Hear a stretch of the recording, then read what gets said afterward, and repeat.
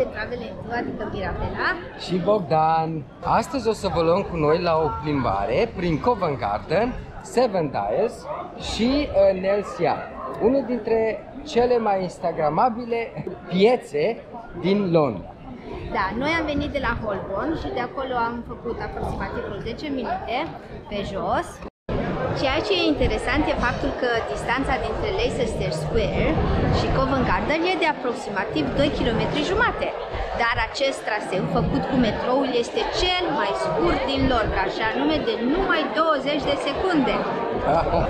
Puntea balerinelor a fost construită în 2002 pentru a ajuta, de fapt, balerinele și dansatorii să treacă dintr-o clădire într-alta și anume să treacă de la etajul 4 al școlii de balet în Royal Opera House, fără a fi nevoit să treacă pe stradă.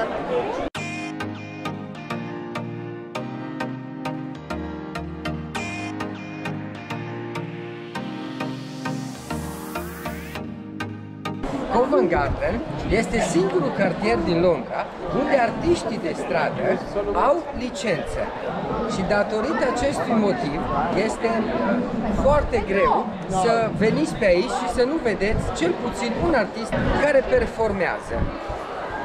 Aici în Covent Garden se află destul de multe astfel de bănci, deci să nu ratați o poză pentru Instagram. Nouă domnișoara de acolo ne-a făcut două poze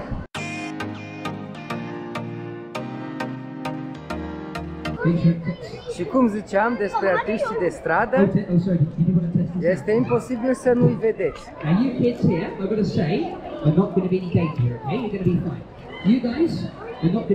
În perioada evului mediu, în această zonă se afla o mănăstire benedictină.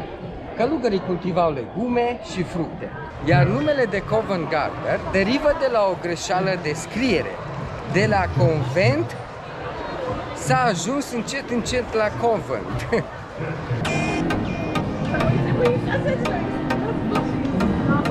Sushi Samba este unul dintre cele mai prestigioase restaurante din zonă, iar dacă decideți să urcați la primul etaj, o să vă bucurați de o vedere frumoasă cu uh, piața.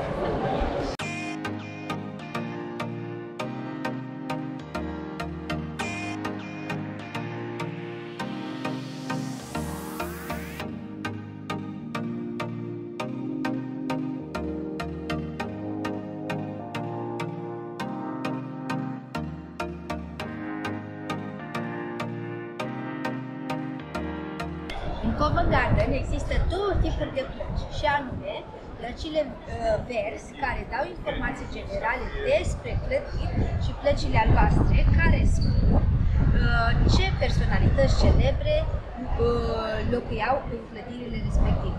Spre exemplu, aici, la faimosul uh, restaurant Baltazar, a trăit pentru o perioadă de timp Samuel Jensen, un faimos actor american care a spus că dacă ești plictisit de Londra, înseamnă că ești plictisit de viață. Mm, oare așa să fie?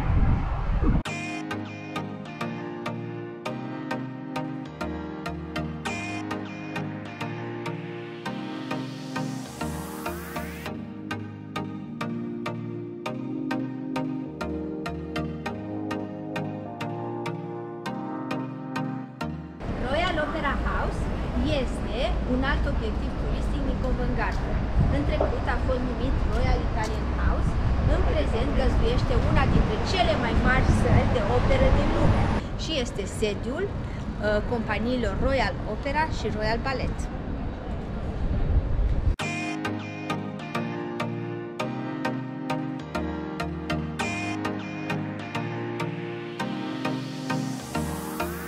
În spatele meu, în trecut, se afla o piață de flori.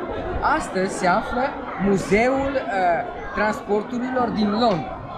Dacă intrați, uh, puteți afla mult mai multe informații despre istoria transporturilor în Londra. Biletul costă 17 lire de persoană, iar copiii beneficiază de intrare gratuită.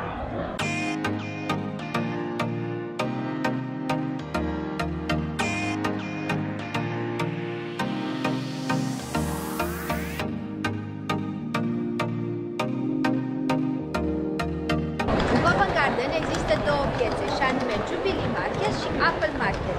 Jubilee Market a fost uh, deschisă de Regina Victoria în 1987 și este deschisă publicului larg uh, de unde pot fi achiziționate diverse produse. Haideți să dăm o tură!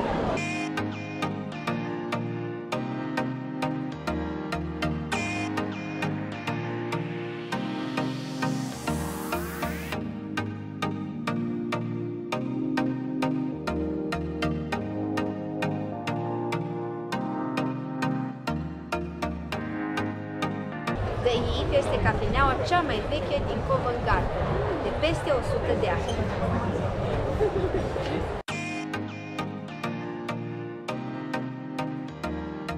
În spatele nostru se află Biserica St. Paul's. Atenție să nu o confundați cu Catedrala St. Paul's. Aceasta este prima biserică construită în Londra după reforma din secolul XVI, când uh, Biserica Angliei s-a desprins de autoritatea papei. Inițial, intrarea în biserică se făcea prin partea de vest, dar datorită faptului că tradiția creștină sugerează ca intrarea să fie întotdeauna în partea de est, așa s-a întâmplat și aici. Intrarea din partea de vest a fost închisă și redeschisă cea din partea de est. Acest loc este recunoscut pentru faptul că cândva era o piață de legume și fructe. Acum este Apple Market. Aceasta are un orar foarte bine stabilit și anume marțea și joia se pot găsi produse generale, uh, luni se pot găsi antichități,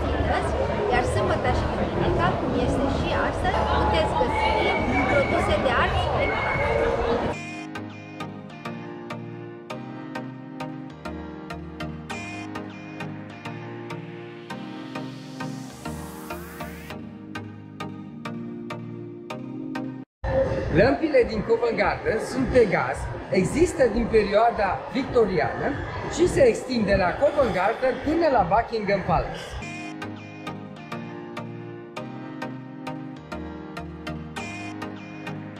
Există și un ziar al Covent Garden-ului și anume Covent Garden, unde pot fi găsite mai multe informații despre această zonă și ceea ce se întâmplă aici. Acestea sunt gratuite și se pot găsi în cafenelele de jos.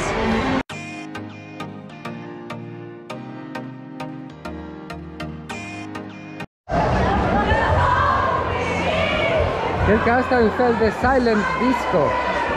Ascult muzică în căști și dansezi. Super tare!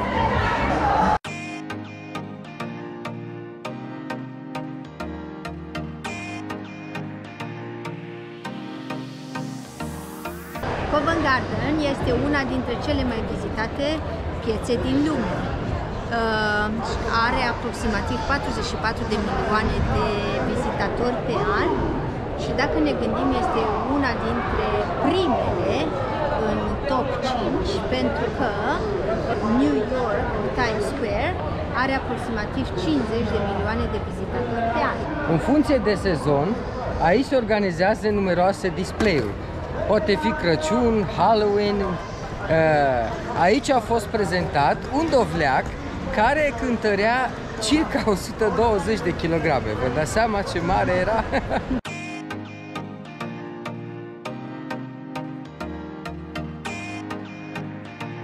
În clădirea din spatele meu a trăit pentru o perioadă de timp Charles Dickens. Și acolo se vede micuță undeva o placă albastră. Da.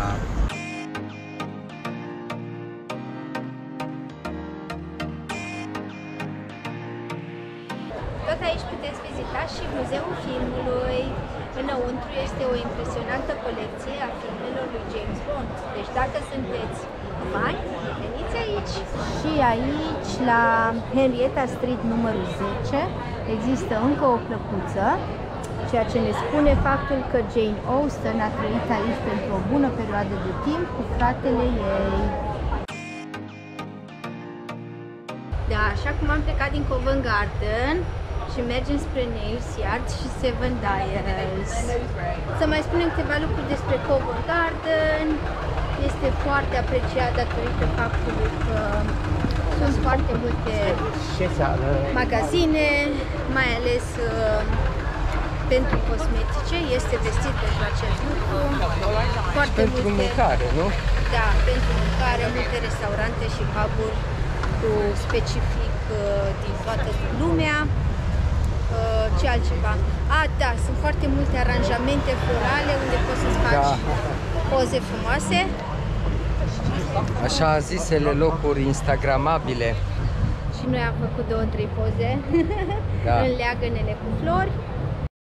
Și aici e un indicator frumos care ne spune încotro să luăm. În față este Seven Dials și strada până la Seven Dials e foarte frumoasă, amenajată cu flori, acum pentru că suntem, uh, pentru că sezonul e vară.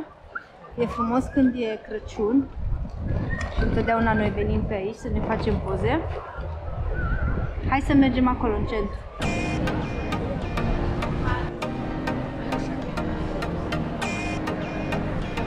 Seven Dials a fost una dintre cele mai sărace zone ale Londrei. Uh, în trecut, aici locuiau până la șapte familii într-o singură casă.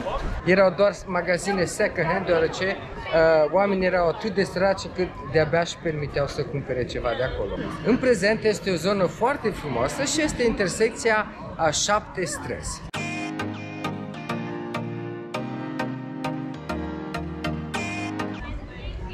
Și acolo sus se vede turnul care are deja are numai șase fețe ale ceasului, ceea ce înseamnă că de mult erau numai șase străzi și mai târziu s-a construit și a șaptea.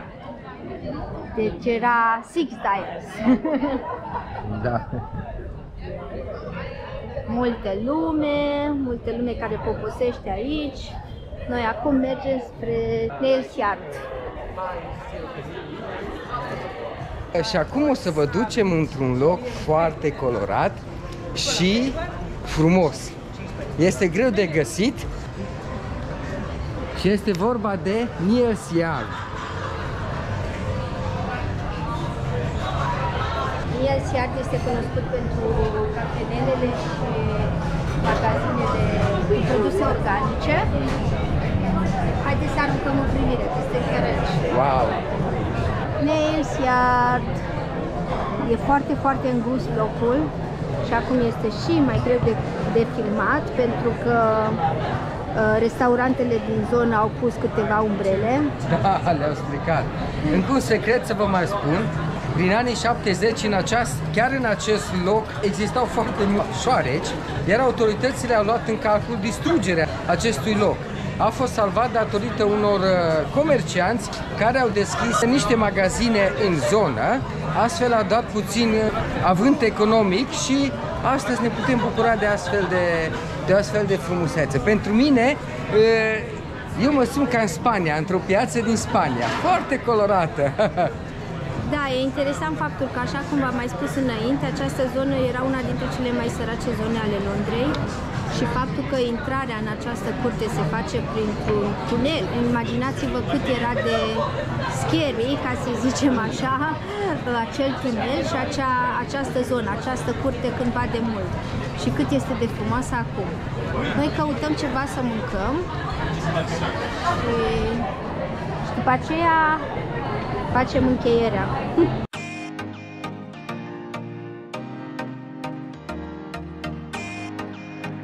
Și aici se încheie vlogul de astăzi. Am mâncat la pubul Salisbury. Am luat uh, niște hamburgeri, au fost foarte buni. Da, mâncare specifică englezească. Sperăm ca următorul vlog să-l face din România. Da! Nu vă spunem de unde încă, să fie secret. Și Sperăm că v-am convins să veniți la Londra și să veniți să vizitați Covent Garden. Da, cam asta este. Uh, stați pe aproape și vă dorim numai bine. Pa! Pa!